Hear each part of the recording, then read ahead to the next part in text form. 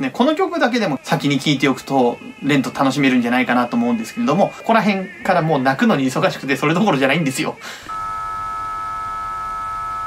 皆様こんにちは。オペラマガジンへようこそ。声楽家の桜井渡です。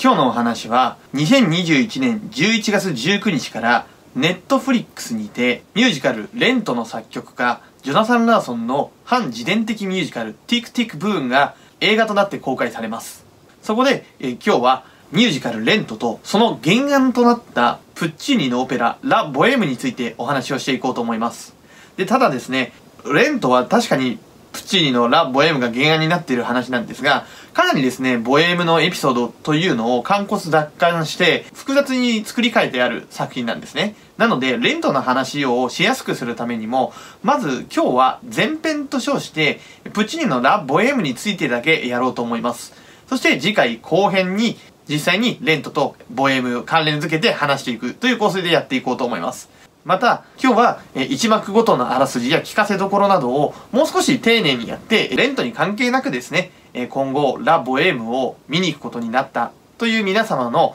まあ予習になるような回に今日はできればなと思っています。それではよろしくお願いいたします。いつもオペラマガジンをご覧になっている皆様にお知らせがあります。来る2022年1月9日日曜日に、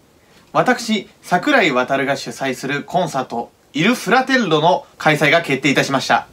このイル・フラテッロ、イタリア語で兄弟という意味があり、私の実の弟で声楽家の桜井翔との初めての共同の主催コンサートになります。そして、このイル・フラテッロコンサートの中で、なんと特別にオペラマガジンコーナーを設けることにいたしました。普段は YouTube の画面越しに皆様にお話をさせていただいている身ですが、この日は皆様の目の前でこのオペラマガジンコーナーをお届けさせていただきます。ちなみに、当日お話しする予定の内容は、好評いただいています、オペラ座の怪人解説第4弾にあたる、題してあの名曲を元ネタと比較して聞いたら、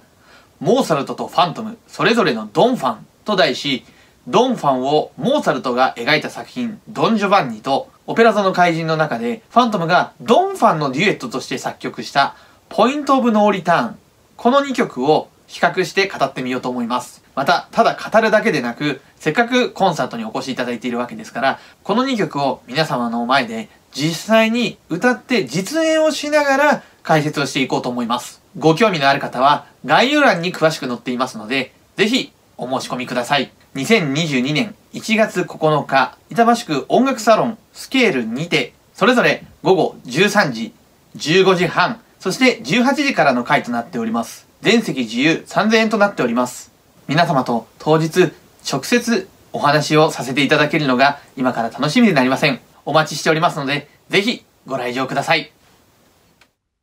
では早速、えー、ラ・ボエーム第1幕からあらすじや聞かせどころを順に話していこうと思います。タイトルのラ・ボエム、ボヘミアンという意味ですね。ここで言うボヘミアンというのは、ボヘミア人という意味ではなく、芸術や愛や友情に生きる、えー、そういった気ままな自由人たちのことを指す言葉ですね。さて、あるパリのアパルトマン、クリスマスイブの日、詩人であるロドルフォと、その親友、画家マルチェッロが、それぞれ創作活動を行っていますが、厳しいクリスマスの冬、とにかく寒くて仕方がない。しかし、貧乏な彼らには薪を買うお金もなく、自分たちの作品、ロドルフォの書いた戯曲の紙の束をですね、燃やして暖を取ります。そこに、友人の哲学者であるコッリーネなどが加わり、男3人身を寄せ合って暖を取っていると、食べ物と金を持って、ボヘミアン仲間の音楽家ショナールが部屋にやってきます。一度が食べ物と現金に沸き群がっていると、ショナールは、今日はせっかくクリスマスイブなんだから、家で食事なんかせずに、街へ出て、カフェでディナーとシャレ込もうというふうに提案をするんですね。その提案に一度盛り上がったところに、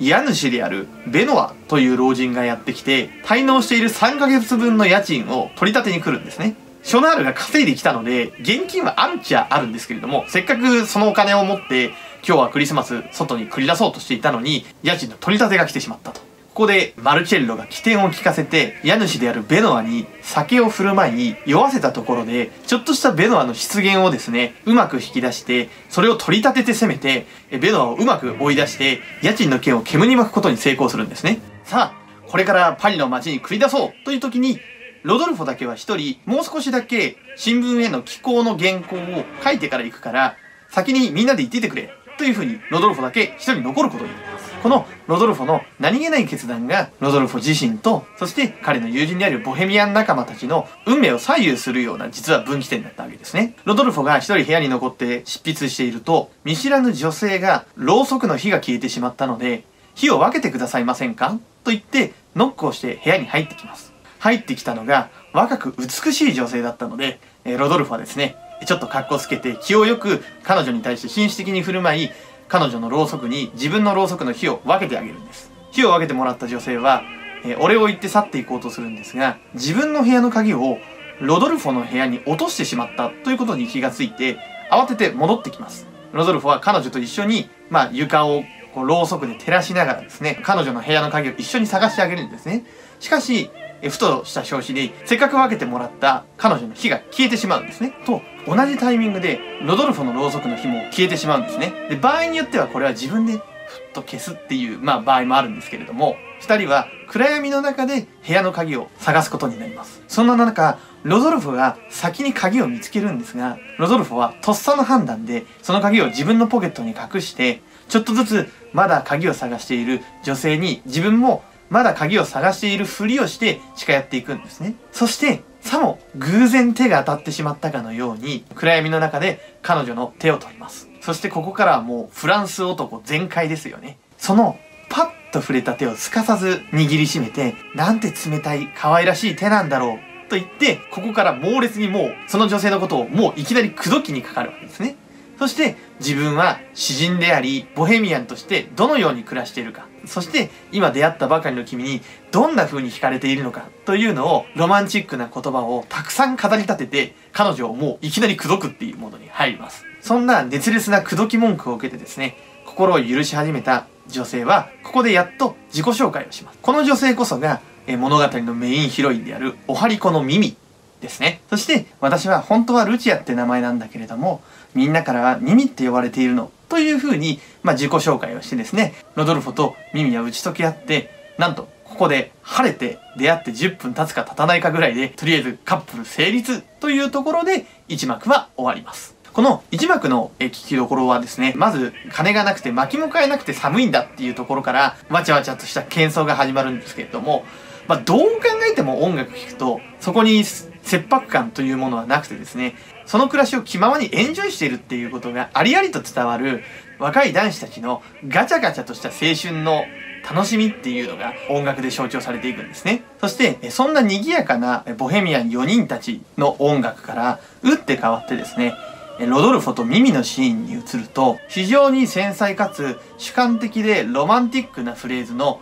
オンパレードとなっていきます。特にロドルフォがミミと出会って彼女に初めて暗闇の中で手を触れるその瞬間まではですね、もう本当に少女漫画家っていうようなベタベタの流れのストーリーにベタベタの音楽つけましたっていうような非常にもどかしくそこだよってちょっと思わずニヤニヤしたくなるような音楽なんですね。そして、えー、ロドルフォのアリア、ケジェリダ・マリーナ、え、冷たい手、耳に触れた手の熱さから感じた彼の情熱というものを、まあ、口説き文句として歌う歌なんですけど、これなんかもう言葉だけ読んでいくとですね、とても出会って10分の人にですね、歌いかけるような歌詞じゃないだろっていうぐらい、ちょっと日本人からすると赤面するようなですね、ロマンチックの言葉のオンパレードなんですけれども、このチャンスを逃すまいっていうロドルフォのですね、情熱が溢れてくる、そういう楽曲になっております。かたや、ミミのアリアである、私の名はミミというミミのアリアの方は、そんなロドルフォの過剰な情熱的なアリアとは対照的に、祖祖と身の上を語りながらも、でも彼女の中にも確かに情熱的な炎があるんだっていう、真の中にあるあったかい炎みたいなのを感じさせる、なんか僕ソムリエみたいな 表現を今してますね。まあでもほん、あの僕にとってはそういう感じ方をする、まあ耳のアリアなんで、そうとしか言いようがないんですけれども、それこそ魂の芯にある熱さみたいなのも感じさせつつ、でも全体的な語り口はそそとした、まさにですね、守ってあげたくなるような、そういうアリアを耳は歌います。お互いに惹かれ合っているということを確かめ合った二人は、情熱的に歌って1幕が終わります。第2幕、場所はパリのマーケットとカフェモミスです。1幕の直後からですね。まず、1幕でロドルフを置いて、先に出たコンリーネ・ショナール、マーチェルノたちが市場で買い物をしています。そして今日の街の市場はクリスマスということで、街全体がお祭り騒ぎで、道行く人がたくさんのお土産であったり、クリスマスのおもちゃであったりというのを買っているんですね。後から遅れて、合流しようと街に繰り出してきた、ロドルフォとミミのカップルの姿もその中には見えています。その市場で音楽家であるショナルは楽器、パイプやホルンを買い、哲学者であるコッリーネは自分にぴったりな街灯、コートと本を買います。付き合いたてのですね、ロドルフォとミミのカップルは、ロドルフォがミミに、君にボンネット、あの、頭につける帽子飾りですね、を君に買ってプレゼントしてあげるよと、早速、まあ、イチャイチャしてるわけですね。ところが、えー、ボヘミアン仲間一人のマルチェッロだけはですね、浮かない顔で、ちょっとやけくそ気味にですね、いろんな女の子に声をかけてるんですね。というのは、マルチェッロというのは恋人と別れたばっかりなので、クリスマスの日っていうのは、街にはいろんな家族や夫婦、恋人が連れ立って、たくさん歩いてるわけですから、いわばリア充爆発しろみたいな心境になってたわけですね。そして、まあ、とにかく各々が買い物を済ませると、みんなボヘミアン仲間たちは、当初行こうとしていたカフェモミズという場所に集まります。そこで、えー、ロドルフは早速できたばかりの恋人ミミを仲間たちに紹介して、ボヘミアン仲間たちもミミを受け入れて、クリスマスを楽しく過ごします。そんな中ですね、街中をざわめかせながらですね、一人の女性が老紳士を伴ってやってきます。この女性こそが、ムゼッタといって、マルチェッロの別れたばかりの恋人なんですね。連れてる老紳士は、ムゼッタの新しい愛人、パトロンのアルチンドーロ氏。すっかりムゼッタの言いなりになっていて、街の往来でムゼッタに何度も二人だけの愛称であるルルと呼びつけられてですね、外ではその名前であんまり呼ばないでとか、あまりはしたない真似をして、どうか注目を集めないでくれ。すっかり、えー、このアルチンドーロはムゼッタに尻に敷かれてる様子なんですね。そして、えー、ムゼッタ、マルチェッロ、お互いにお互いがいることに気づきます。ここでマルチェッロがですね、ムゼッタのことを無視するという態度に出ます。ところがこのムゼッタはですね、マルチェッロのことが別れたはいいものの、なんだかんだ気になっていてですね、あからさまにそういう態度をそっちがしてくるんだったら、意地でも振り向かせたいっていうモードになっていくんですね。そこで、ムゼッタがですね、いわばマルチェッロに対する当てつけのように歌うのが、ムゼッタのワルツと呼ばれるクワンドメンボー、私が街を歩けばというラ・ボエームといえばこれという代表曲の一つであるアリアを歌うわけです。私がただ街を歩いただけで男がみんな釘付けになるのはそれは私のせいじゃないでしょ。そして、そんな風に注目を浴びている私っていうのが、私は好きなのっていうようなことを挑発的に明けすけに歌うんですね。で、マルシェッロは当然自分に対するこれは当てつけだというのが分かってますから、もうマルシェッロはいても立ってもいられないんですけど、とにかく意地を張って聞かないようにしようと。一方、今の恋人というアルジンドロシは、そんなはしたないことを人前で大声で言うもんじゃない、目立ってしまうじゃないかっていうふうに何とかたしなめようとするんですけれども、まあ、アルジンドロにムゼッタのそういうことを止める力はないんですね。で、一方、ボヘミアン仲間たちは、当然ムゼッタのことは、まあ、もともとマルチェッロの恋人ですから、まあ、知ってるので、ああ、またいつものやつでマルチェッロは耐えられるかなっていう、そんなやりとりをニヤニヤしてるんですね。一方、ロドルフォとミミは、またちょっと違った目でこの恋の再当てを見ていて、ミミはすぐに、あ、ムゼッタっていうあの女の人は、本当にマルチェッロのことを愛してるんだっていう風に気づくんですけれども、まあ、ロドルフォの方は逆に、ミミ、君があの、あんなムゼッタみたいな真似したら僕は許さねえからね、みたいな。ちょっと、この段階では恋愛に対する感受性っていうものに差が出てるのが見て取れて面白いですね。そして、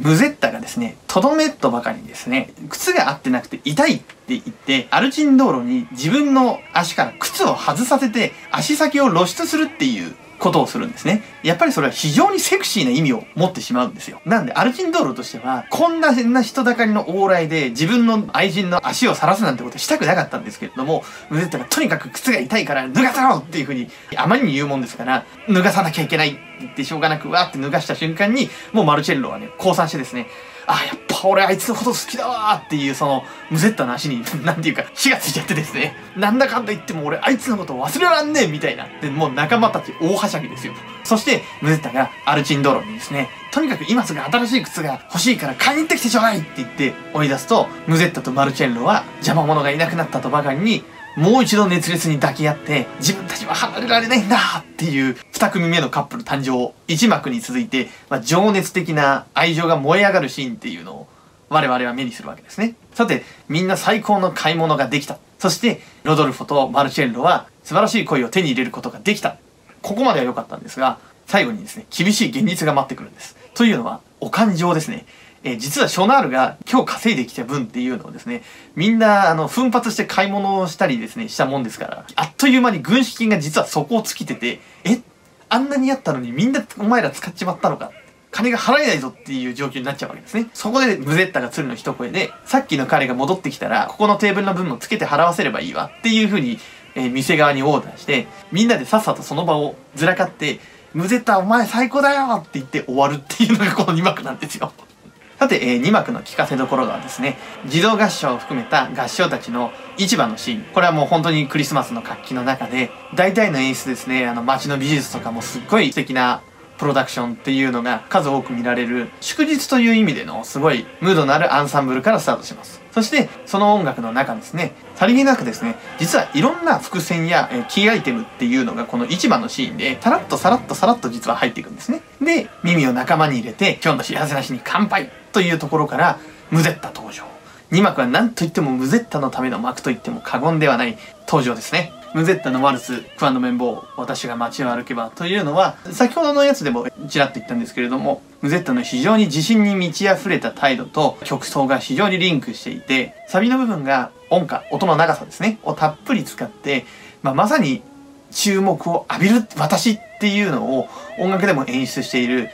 名曲だと思います。で、まあ、次回後編で詳しく話しますけれども、レントのロジャーがずっと弾いてるのもこのムゼッタのワルスのメロディーですね。なので、レントを目当ての方はですね、この曲だけでも先に聴いておくと、レント楽しめるんじゃないかなと思うんですけれども、また後編で詳しく話させていただこうと思います。そんなムゼッタのワルスが歌われる中ですね、意地を張るマルチェッロや、慌てふためくアルチン道路、それを見て、やいのやいの言う仲間のボヘミアンたちっていうところへのドラマへのスムーズな移行なんかも、やっぱりプッチーニのメロディーのメイクの非常に卓越したところを僕は感じますね。そこからマルチェッロ陥落までの中では、クワンドメンボーのメロディーをマルチェッロが今度は歌いながら、自分がどれだけ彼女に夢中かっていう自覚して仲間たちが加わって一大アンサンブルが結実するのはもうお見事というしかないような素晴らしい音楽ですのでぜひねあのクワの面も私が街を歩けばムゼッタのアリアからマルチェッロがもう一度歌うところまでっていうのを一連でやっぱり聴いてほしいなっていうふうに思いますねそして、えー、最後華やかな街のもう一度合唱がクリスマスのパレードをしている中で仲間たちが楽しくふざけ合いながら去ってっておしまいっていう本当にいわば仲間たち全員にとってこの2幕の終わりが一番幸せだったっていう最も華やかな終わりですね。で、まあ、ボエムはいわゆる4幕構成なわけで、まあ、前編後編と分けるとこの2幕の終わりが前編の終わりなわけです。なので、まあ、ラボエムという話は残念ながら悲劇のオペラなので、まあ、その落差の頂点ですね。この2幕最高に幸せなところで幕が降りる。というのがラボエムの2幕です。続きまして第3幕はですね第2幕から2ヶ月ほど経ったとある郊外の居酒屋ですね、え、そこにですね夜明けの頃ミミが、えー、道行く人に尋ねながらこの第3幕の舞台である居酒屋の前までやってきますでそこでミミはですね人に使いをやって中にいたマルチェッロを外に呼び出してもらうんですねでこの時マルチェッロはちょっとミミと久しぶりに会ったみたいでどうしたんだい？と。あの後ですね、マルチェッロはですね、ムゼッタと二人ロドルフォたちの部屋を出てですね、この居酒屋で暮らしてたんですね。マルチェッロには居酒屋の看板を書く仕事があり、そしてムゼッタは中でお客に歌を教えて、ここでちょっとイチャイチャ楽しく暮らしてたんだよと。いうことをミミに語るわけ。するとミミが、ロドルフォが中にいますか？と尋ねるんですね。で、ロドルフォ実は中にいるんですよ。呼んでこようか？っていうふうにマルチェッロが、本当に悪気なく言うと、いや、それはやめてくださいってすごく深刻な顔でミミが止めるんですね。え、どうしたの？っていうふうにマルチェッロが聞くとですね、ミミは、こう、ロドルフォがすごく束縛をするようになって、ちょっとしたことで嫉妬して、すぐに出てけって言ったり、自分に対して辛く当たる。かと思えば、私の寝顔を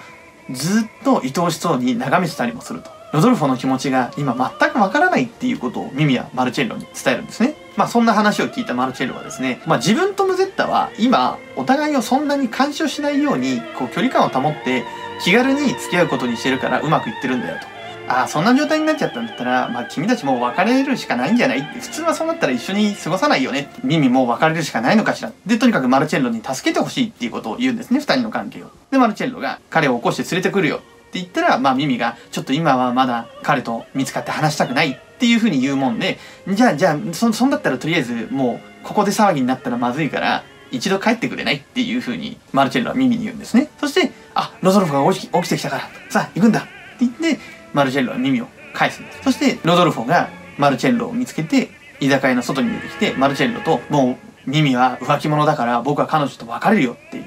ロドルフォからもマルチェッロは相談を受けるわけですね。で、マルチェッロは、うーん、でもお前さ、それ本音なのかっていうことを、まあ、問い詰めていくんですね。で、最初、ロドルフォは、いや、あいつは他の男に色目を使ったとか、いろいろグダグダ言ってたんですけども、マルチェッロに、本当の本音じゃないだろっていうことを見抜かれていく。すると、ロドルフは、違う。僕は今でも彼女のことを本当に愛しているけれども、彼女は重い病気なんだと。そして僕の貧乏暮らしでは彼女のことを救えないんだっていう衝撃の告白をロドルフはマルチェッロにするんですね。で、マルチェッロもこれにびっくりでなんてことだ、かわいそうなミミとロドルフォが彼女はどんどん日増しに悪くなっていくんだと。で、それが僕には耐えられないし、寒くて安いボロアパートの僕の部屋じゃ彼女はますます苦しむばかりだ。それが僕には耐えられないから別れたいって今思ってるんだっていうことをマルチェッロに告白するんです。ところが、これをですね、ロドルフォのことを確かめたくて、物陰でマルチェッロとロドルフォの話を耳が立ち聞きしてしまっていたんですね。そして耳は自分が重い病であるっていうことを、そこで着せずして告知されてしまうという形になるんです。で、ロドルフォとマルチェッロが耳が聞いてしまっていたってことに気づいた時は後の祭りで、なんとかロドルフォが、いや、何、さっきのは何でもないんだよ。君の話じゃないんだってごまかそうとしても、もう耳は自分のことだっていうことがやっぱり分かっちゃってるんですね。で、そんな時、居酒屋の中から、まあ、ムゼッタが、居酒屋の中の客と笑い合っている声が聞こえて、マルチェッロは、あいつめ俺がいない間に浮気してやるって言って、部屋の中に飛び込んでいくんですね。そして、マルチェッロがいなくなったことで、二人きりになったロドルフォとミミですが、ここでミミが別れのアリアを歌って、こうなってしまってはお互いのためにも私たちは別れましょう。そして、ただあなたが私に買ってくれた、あの思い出のボンネットだけはどうか取っておいてくださいねって言って、ミミは身を引こうとします。こういう風に別れを急に告げられると、ロドルフォも辛いわけですよ。本当にもうやっぱりどうしてもお別れしなきゃいけないのかっていう、ここでのロドルフォは3幕の前半でミミが言ってたような天の弱な態度っていうのをかなぐり捨てて、すごく素直に、でも君とは本当には離れたくないんだっていうことを歌うわけです。一方、同時進行でですね、マルチェルナとムゼッタも大喧嘩をしながら、もう一度庭の先に出てきてですね、お前、客の男と楽しく笑ってただろう。ムゼッタはムゼッタで、あんたは何様の権利があっては、に指図するんだっていう風にもう、まあ、罵り合ってですね、二組のカップルの別れ話が同時に進行していくわけです。ミミとロドルフォの方は、この厳しくて寒い冬にお別れするのは、あまりにも辛すぎるから、春になったらお別れしよう。一方、まあ、ムゼッタとマルチェルロの方は、もうその場でお互いに、では、いざおさらばっていう風に言い合って、その場で喧嘩別れをしちゃうんですね。先ほども言ったように2幕で一番幸せな日々を迎えたここ2組のカップルが3幕の最後ではそれが逆転してしまったというところで3幕は終わりになります。3幕の聞きどころなんですが冒頭からですね、まあ、耳が道行く人に道を聞きながら舞台となる居酒屋を目指すわけですけれどもそこの音楽を聴けばどう考えても雪が降ってるのが分かります。あの説明いらないです。聞けばこれは雪の音楽だなってゲームで言ったら雪ステージの音楽だなっていう風にすぐに分かります。そんな雪の中を明け方ですよ。どれだけ寒い中を耳がやってきたんだろうっていうところに思いを馳せるポイントですね。そんな一輪の望みをかけてマルチェッロに助けを求めてやってきたんです。ところがマルチェッロっていうのは自分がムゼッタと今うまくいってるもんですから結構耳のその必死な思いっていうのをかなり温度差がある感じでこうムゼッタとのことをすごく楽しそうに歌ってたりもうそれはダメなんじゃないかっていうことを落ち着いて冷静に物事を見ているという風に見ることもできるんですけれども耳にとってみればちょっと突き放されたような感じのトーンでマルチェッロがここを歌うんですね。で、これはまあ実際マルチェンロが冷たい人の気持ちに鈍感なやつだと捉えることもできるんですけれども、耳にとってはそういう風に聞こえたんだっていうポイントもかなり大きいんじゃないかなと個人的には思ってます。同じクリスマスの日に結ばれた2組なのに、私たちは何もかもうまくいってなくて、マルチェッロとムゼッタはすごくうまくいってるんだっていうことに耳が傷ついている。マルチェッロの言葉もそういう風に聞こえてしまっているっていう描写でもあるのかなと個人的には思っています。その分ですね、耳のの嘆きのメロディーっていうのが自分が一番愛している人にその愛を疑われて傷ついているっていう非常に切実さを持って切なく美しいマルチェッロとの二重章からマルチェッロとロドルフォの対話そしてミミが立ち聞きして三重章に移行するんですけれどもこのまずマルチェッロとロドルフォが2人で歌うシーンなんですけれどもミミと別れるつもりなんだっていう風に歌っているロドルフォの音楽っていうのが虚勢を張っている嘘をついているっていうのが丸分かりなんですよね。メロディーと言葉が全く噛み合ってない。なんてことないさみたいな強がってるようなメロディーなんですね。当然マルチェッロにそれは嘘だろっていうことがバレて、ロドルフォの衝撃の告白につながっていくわけです。で、ここの、いわば、そのさっき言った虚勢を張るために流れていたちょっと楽しげな音楽から、一気に絶望感に溢れた音楽に変わっていくこのグラデーションはもうぜひご自身の耳でお聞きになっていただきたいなと思います。そしてですね、絶望の三重唱が終わった後、耳の別れのアリアと、それぞれロドルフォとミミ、ムゼッタとマルチェッロっていう二組のカップルの天末の40章に繋がっていくわけですけれども、この一度絶望しきった後の耳のアリアっていうのは、なんというか耳にしてみれば、少し理由が分かってほっとした面はあったのかなと。彼は私のことを嫌いになって別れようって言ってたわけじゃないんだっていうことが分かったことに対する安堵っていうのは確かにあったんじゃないかなっていうような、もちろん本当に悲しくかかわいそうなメロディーなんですけれども、ミミが別れを告げるアリアっていうのは、ミミの心の状態っていうものがすごく繊細に描かれている曲だなと思います。ロドルフォが加わって40章になだれ込んでいくわけですけども、しっとりと鑑賞に浸って非常にに自分たちが得ていた輝かしいものとそれの別れっていうものを静かに惜しんでいきながら、それでも今はこの冬の間だけは一緒にいよう。そして春になって暖かい季節になって少しでも前向きな気持ちになれる季節になってからお別れしようっていう二人とは、まあ、裏腹にムゼッタとマルチェッロの方はリズムよく短い言葉で本当に罵り合いの応酬で二人のメロディーを作っていくっていう関係が破綻しようとしている二組のでも、それの喧嘩の仕方、内容ってのは全然違うんだっていうことがすごくはっきり対比されてる曲なんですね。結局、歌の最後では、3幕の冒頭の段階では、もう別れるしかないだろうって言っていたロドルフォとミミの方が一旦別れるのはなしにして春までは一緒にいようっていう結論になったのに対して俺たちめちゃくちゃうまくやってるんだよねって言っていたマルチェッロとムゼッタの方がもうその場で喧嘩別れしてしまうっていう真逆の状態になってるのがこの曲の非常に面白いところだと。さて、第4幕は再び舞台は1幕と同じロドルフォの部屋です。そして1幕の冒頭と同じように2人はそれぞれの創作活動に勤しんでいます。ところが2人とも身が入らないんですね。それはやっぱりお互いに別れた恋人のことというのが頭から離れず、こう何をしててもマルチェッロはムゼッタが、ロドルフォはミミのことが頭から離れず、いかにロドルフォにはミミが、マルチェッロにはムゼッタが必要だったかっていうことを痛感している20章から始まります。で、ここでもですね、そんなマルチェッロとロドルフォの草したちょっとセンチメンタルな思いをですね、あの、払拭してくれるのはですね、やっぱりボヘミアン仲間のショナルとコンリーネなんですね。で、ここでもですね、一幕と同様に、えー、ショナルとコンリーネはですね、食料を持って帰ってきてくれるんですね。みんな食べようじゃないかっていう、とにかくあの、お腹減ってるとろくなことを考えないっていうのは現実でもそうですよね。とにかくみんな食おうぜっていう中で、わざと、なんて素晴らしいごちそうなんだ。本当にバカバカしいですね。あの、男たちの楽しいごっこ遊びが始まるんですね。踊りあり、決闘ごっこありっていうもう、なんか男って何歳になってもこうだよねっていうようなごっこ遊びをしてドタバタしているさなかですね、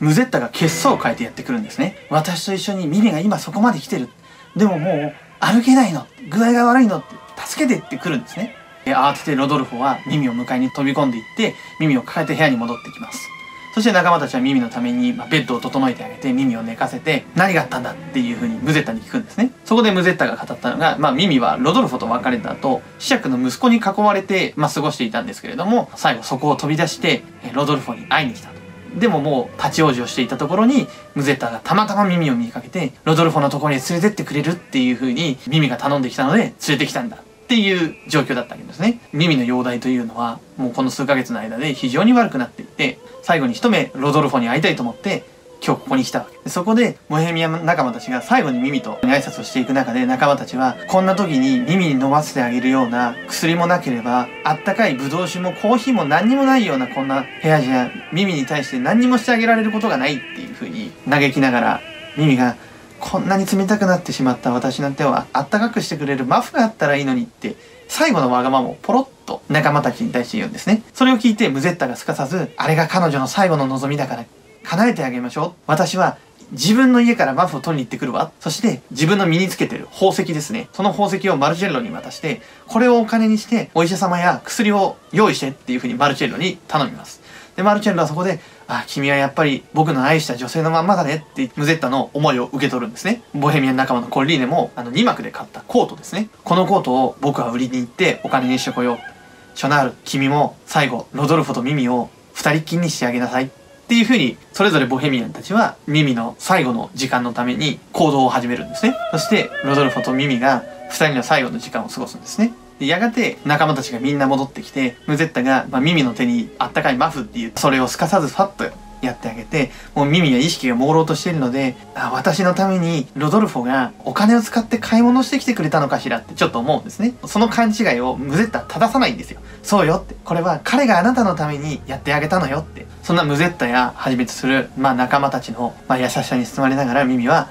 ちょっと本当に疲れたから少しだけ眠るわって言って目を閉じるんですね。ムゼッタが神様に、ミミは本当にいい子なんです。どうにか助けてください。祈りを捧げてる間に、ショナールがミミがもう亡くなってるっていうことに気がつくんですね。ロドルフはその時、ムゼッタに、ミミのために祈ってありがとうっていう風に言ってて、気づいてないんですね。ショナールはロドルフォに言えないんで、マルチェッロにミミはもう亡くなったってことを伝えるんですね。そこに、後から遅れてコリーニがやってきて、ミミはどうなった？っていう風に言うと、ロドルフォは気づかずに、あ、ちょっと今小康状態なんだって。今そこで眠ってるよっていう風に言うと、マルチェッロやショナール、もうこの頃にはブゼッタも少し気づき始めてて、ロドルフォが、どうした？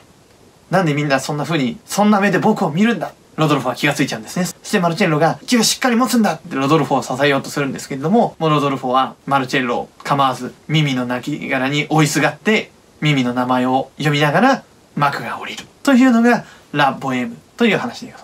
ます。この4幕の聞きどころは、まずは冒頭のロドルフォとマルチェッロの二重章です。ここではっきりと、えロドルフォとミミはもうすでに分かれていること。マルチェッロもムゼッタとよりを戻してないこと。しかし、本当に二人の心の中にまだムゼッタとミミっていうものが焼き付いていて、離れないっていう男心っていうのを歌ったすごい素敵な二重章から、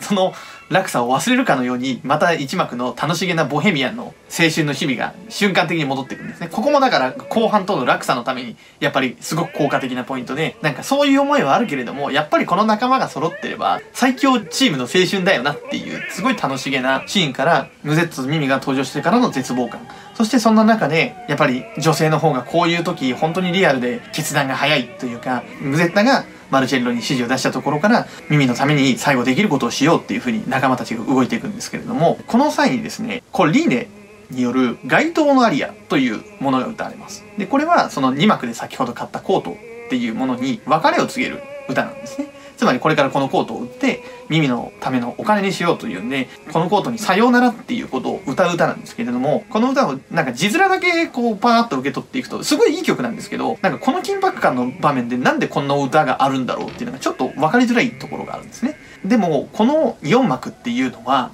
2幕で買ったアイテムっていうのが、あの、ちょっとさっき説明し忘れたんですけど、ロドルフォが、その耳が3幕の別れのアリアでですね、あの時買ってくれたボンネットを捨てないでねって言ってたボンネットを取り出してくるんですね。そうすると、はあ、あなたは本当に約束を守って持っててくれたのねっていうよ、くだりがあるんですけど、そのコートと同じように2幕の市場で買った、つまりあの時人生で最高に幸せだった日に買ったものっていうのが、次々出てくる展開なんですよ。そして、ここで、そのうちの一つのアイテムである、コルリーネのコートをコルリーネが売るっていう決断をするっていうことは、言ってみれば、今お話の中心で悲劇の中心となってるのは、いわゆるロドルフォとミミなんですけれども、これは、この仲間全体、ボヘミアン仲間全体にとっての一つの終焉なんですよね。あの日に象徴された幸せが全員にとって終わるんだと。コリーネのそのコートにその役割を集中させてるんですね。なので、コリーネがすごい噛み締めるように、そのコートとの別れっていうのを歌うんですよ。で、それは本当はコートが大事なんじゃなくて、コートが象徴してたあの日の幸せっていうものに別れを告げるっていう、そういう歌なんですね。そしてその後、ロドルフォとミミ二人がもう一度一幕を思い返すように幸せだった出会いのあの日々っていうのを歌うんですけども、ここら辺からもう泣くのに忙しくてそれどころじゃないんですよ。本当にこんなベタな手でこんなに泣いちゃうかっていうぐらいもうそのメロディーの幸せさと美しさと今のこの儚さとっていうのが相まってそこはもう本当に何回もこれ言うんですけど聞いていただくしかないなっていうところになるんですね。で、そんな中、耳は穏やかに眠るように亡くなるわけですけれども、最後、ロドルフォが耳の死を悟って絶叫して泣くっていうところで幕は終わるわけですが、その時の耳の死を悟ったロドルフォの叫び、その時のオーケストラレーションっていうのがもうよく声楽家の中で言われるのはもうあそこはオケ全体が泣いてるよねっていうそういう切ないメロディーでプチーニは楽譜に直筆ねかわいそうな耳っていう風に書いてたらしいんですねこの場面のことをそしてさっきも言ったようにオーケストラ全体が悲しみの涙を流してこのボヘミアンたちの青春が一つの終わりを迎えたというところを描写しきってこのラブボエムという作品は終わります。というのが、えー長くなりましたが、えーラブボエムの各幕のあらすじと聞きどころになります。全体を通してですね、ロマンティックで優雅なメロディーと、それと逆にクリスマスの街中の喧騒であったり、ボヘミアンたちの自由を謳歌する朗らかさであったりっていう、こういう常に幕単位ですごく音楽っていうものが非常にバリエーション的に常に対比をされながら彩っていて、最後、リミの死でみんなが涙するために全部が計算されている素晴らしい作品になっていますので、ラ・ボエム、ぜひおすすめのオペラですので、ぜひ機会があれば劇場にてご覧いただければ幸いだなと思っております。それでは大変長くなりましたが、今日の話が面白いと思ってくださった方は、チャンネル登録、高評価、どうかよろしくお願いいたします。それではどうもありがとうございました。